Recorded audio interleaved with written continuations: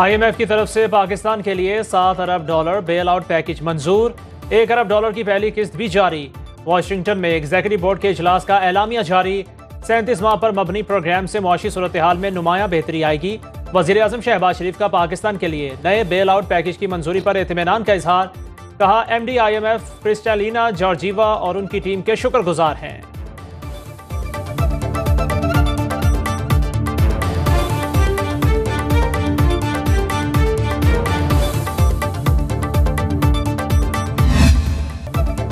IMF माहदे की मंजूरी सरमाकारों का अतमाद बहाल। पाकिस्तान स्टॉक मार्केट में 100 इंडेक्स, बयासी हज़ार नौ सौ छह की तारीखी बुलंदियों को छू गया।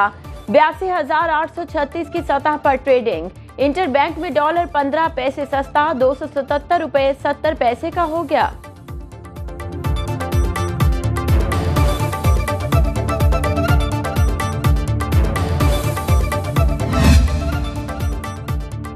पाकिस्तान की मीशत बेहतरी की तरफ़ गामजन है। पाकिस्तान ने मुआशी असलाहत की हैं, जिसकी वजह से मुआशी सूरत हाल में बेहतरी आ रही है।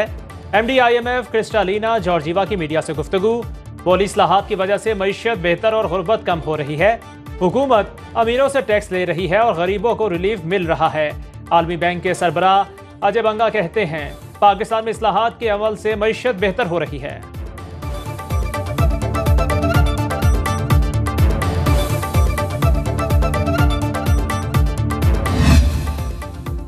पाकिस्तान में इसलाहत का अमल मुकम्मल किया तो ये आई एम एफ़ का आखिरी प्रोग्राम होगा। वज़ीर खजाना मोहम्मद औरंगज़ेब कहते हैं, आलमी बैंक से कर्ज प्रोग्राम की मंजूरी हुकूमती पॉलिसियों की तोसीक है।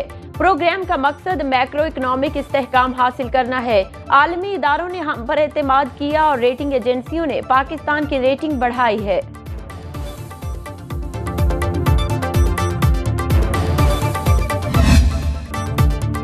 पाकिस्तान का फलस्तीनी आवाम से भरपूर इजहार यकजहती।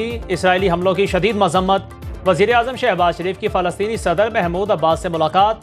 दोनों रहनुमाओं का गजा की सूरत हाल पर तबादला ख्याल। वज़ीर अजम का कहना था, पाकिस्तानियों के दिल फ़लस्तनी भाइयों के साथ धड़कते हैं।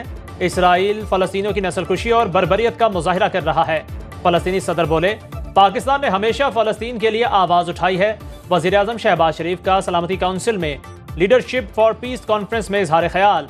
बोले, ताकत के गैर कानूनी इस्तेमाल को किसी सूरत बर्दाश्त न किया जाए। बैरूत पर हमला दुनिया के लिए तबाहकुन साबित होगा। गाजा में जंगबंदी और दो रियासती हल के सिवा कोई चारा नहीं।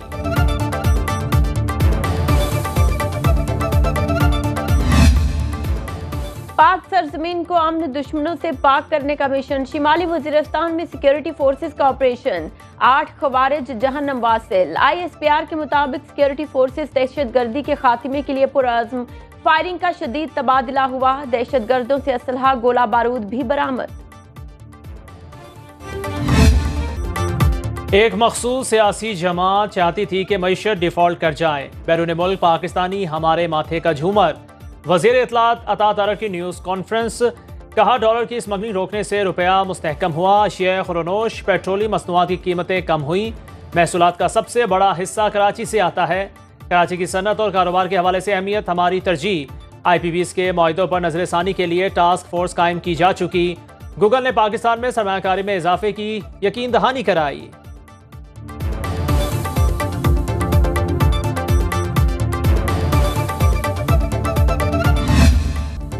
कौमी असम्बली की मखसूस नशस्तें पीटीआई को मिलेंगी या नहीं? इलेक्शन कमीशन का हम इजलास आज फिर होगा। जराये के मुताबिक इलेक्शन कमीशन के गुजशत इजलास में इलेक्शन कमीशन के दो अरकान ने सुप्रीम कोर्ट के फैसले पर अमल दरामद की राय दी। कानूनी टीम से इख्तलाफ करते हुए कहा, सुप्रीम कोर्ट का तफसीली फैसला आने के बाद अमल दरामद न करने की कोई गुंजाइश नहीं।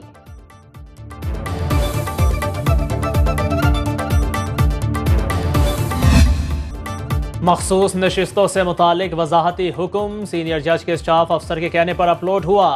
इलेक्शन कमीशन और पी टी आई की दरख्वास्तों पर कॉज लिस्ट जारी नहीं हुई। चीफ जस्टिस के नौ सवाल पर रजिस्ट्रार सुप्रीम कोर्ट ने जवाब भेज दिया। किसी कमरा अदालत में समात हुई, ना जजेस के किसी चैम्बर में बैठने की मालूम हैं। अपलोड होने से पहले फ़ाइल रजिस्ट्रार ऑफ़िस को नहीं भिजवाई गई।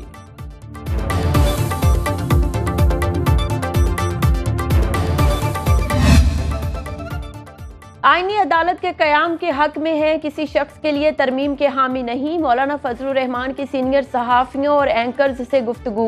बोले, ख्वाहिश है, आईनी तरामीम इतफाक़ राय से मंजूर हूँ।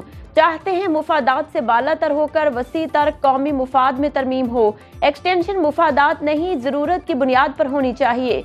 एक सूबे से कौम परस्त और दूसरे से। मजहबी जमातों को धांधली के ज़रिए बाहर किया गया।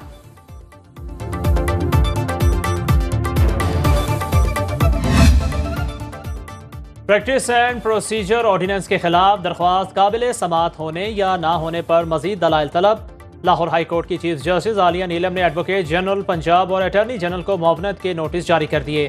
विफाकी हुकूमत के वकील का दरख्वास्त के दायरा अख्तियार पर एतराज़। दलाइल में कहा यह दरख्वास्त इस्लामाबाद के दायरा अख्तियार में आने वाली अदालत में दायर हो सकती है। सिंध हाई कोर्ट में भी प्रैक्टिस एंड प्रोसीजर बिल के खिलाफ दरख्वास्त पर फैसला महफूज।